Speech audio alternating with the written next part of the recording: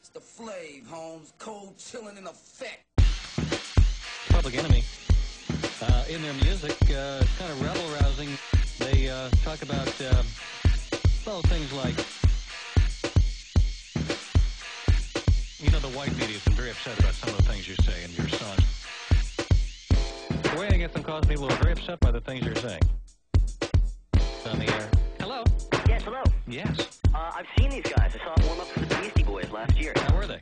How were they? I thought it was one of the most appalling things I have ever seen. There were two gentlemen in cages on either side of the stage with fake Uzis.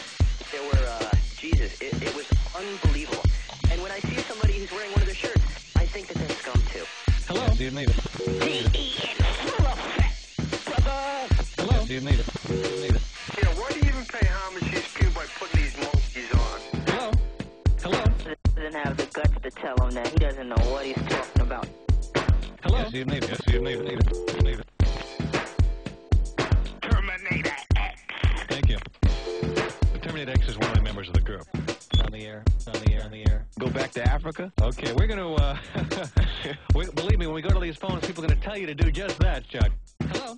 Yes, hello. Yes, Alan, I think that right liberals like yourself have difficulty understanding that Chuck's views represent uh, the frustrations of the majority of black youth out there today. I do understand that. Yeah, but before he came on, you were branding... Well, if you had read the stuff I'd read about him uh, and the way he's been portrayed in the American uh, press,